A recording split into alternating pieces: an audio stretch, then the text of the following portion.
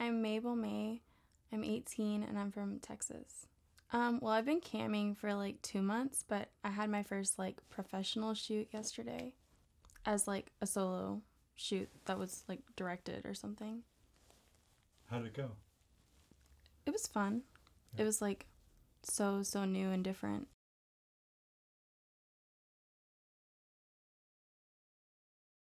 It was only one person. But at first I was like really nervous and I was like not confident, but like as the shoot went on and I saw my pictures, I was like they turned out good. So made it easier. I guess I really like the fact that I'm getting paid for what I'd probably be doing anyway.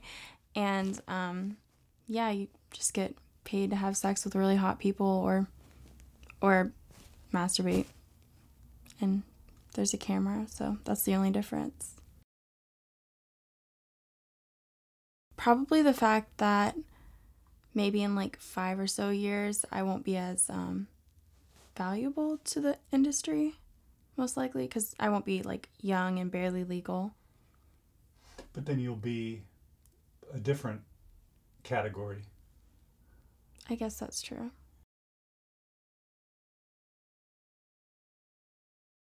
Yeah, um, my two favorite porn stars are Alex D and Chloe Cherry.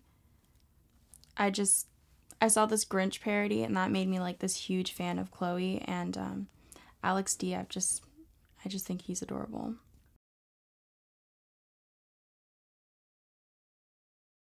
By a complete accident, I was like a kid, so I saw it and I was like, "Oh my god, what is that? What is what is he doing?" um but I think I started watching it purposefully when I was uh, an, in my early teens. And what was the second question? Oh, uh, how did you come across it? Uh, oh, um, just by searching things like naked girls and naked guys, and eventually naked or masturbation videos, and then like full on sex videos. So you kind of you were you were curious. Yeah.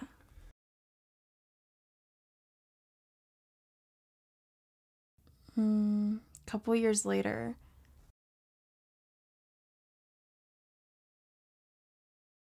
I think my favorite is like Frank Ocean and Lana Del Rey.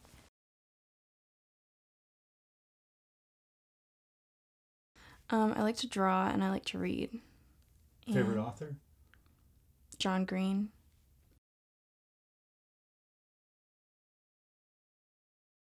Well, I want to be a therapist, so hopefully by then I would have graduated and I'm going to school in Texas. I'm, I guess I probably can't say which school, but so yeah, I should have been working for a couple years by then.